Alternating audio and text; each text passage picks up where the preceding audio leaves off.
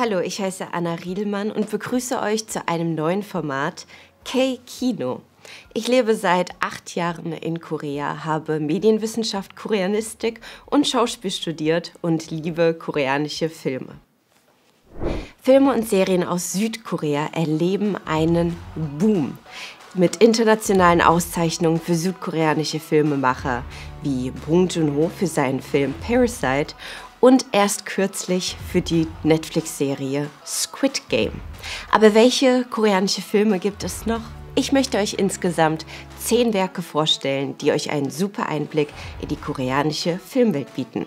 Heute geht's los mit dem ersten Film A Taxi Driver aus dem Jahr 2017. Mai 1980. Südkorea erlebt politisch unruhige Zeiten. In der Stadt Gwangju im Süden der koreanischen Halbinsel protestieren Studierende und Einwohner gegen die Militärregierung und fordern Demokratie ein. Inmitten dieser Unruhen befindet sich Peter, ein deutscher Journalist, der die Demonstrationen und ihre blutige Niederschlagung durch das Militär mit seiner Kamera aufnimmt. Wie ist Peter in diese fremde Stadt gelangt und wurde Zeuge zu einer der wichtigsten Kapitel der koreanischen Geschichte? 대마요 대학 간다. 네, 5천원만 받을게. 됐지? 뭐 봅시다. 자, 3천만 받아. Wir gehen ein paar Tage zurück und sehen zunächst einen Taxifahrer aus Seoul, Mansop, gespielt von dem Parasite-Star Sung Kang-ho. Mansops größte Sorge ist seine Tochter und das Geld, an dem es ihm stets mangelt. Als er hört, dass ein Ausländer für die Strecke von Seoul nach Gwangju eine hohe Summe bezahlen möchte, kann er sein Glück kaum fassen. 10만 원? 동아공과 하루에 택시비를 10만 원이나 준대? 에이, 나이스 미쳐. 렛츠고 광주. 어? 타타타.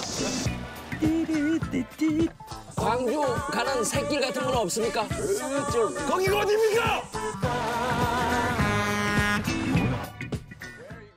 Bei dem Gast handelt es sich um Peter, einen deutschen Journalisten, gespielt von Thomas Kretschmann. Er ist nach Korea gereist, um sich ein Bild von der Lage in Gwangju zu machen. Wie viele anderen einfache Bürger hat Mansop keine Ahnung von den Geschehnissen in Gwangju, denn die Medien werden zensiert und keine Nachrichten gelangen an die Außenwelt. Als die beiden Männer in Gwangju ankommen, können sie gerade noch so in die militärisch abgeriegelte Stadt. 리포터? 네, 뉴스요, 뉴스. 어째 이렇게 찬이 없어. 귀한 손님 왔는데. 아,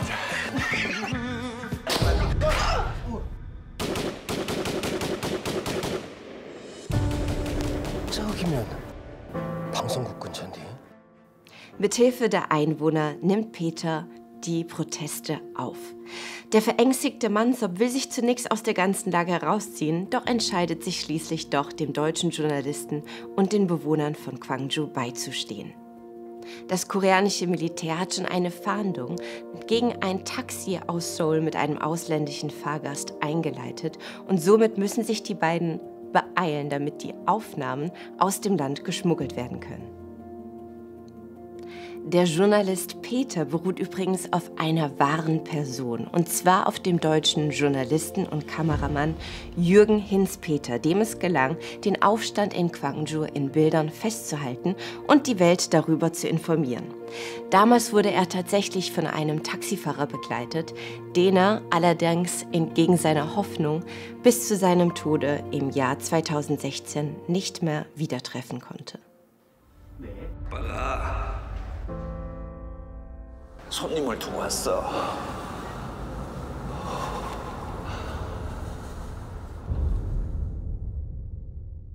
Ich glaube 30 Meter ohne die Kamera abzusetzen, gedreht und bin von Sarg zu Sarg gegangen und zwischen den Särgen gegangen, bis ich bei einer Frau, die durch ihr Weinen und ihrem Ehemann den ganzen Raum äh, erfüllte, das hörte man. Das höre ich heute noch und äh, ich höre es ja immer wieder, wenn ich meinen Film angucke, äh, mich so traurig gestimmt hatte, dass ich selbst so berührt war, dass ich eigentlich heute noch Gänsehaut kriege und zu der Zeit dann weinend aus dem Raum rausgegangen bin. Ich habe dann noch einen Schnitt gemacht von dem Pastor, der dort stand. Den habe ich, glaube ich, auch wieder getroffen.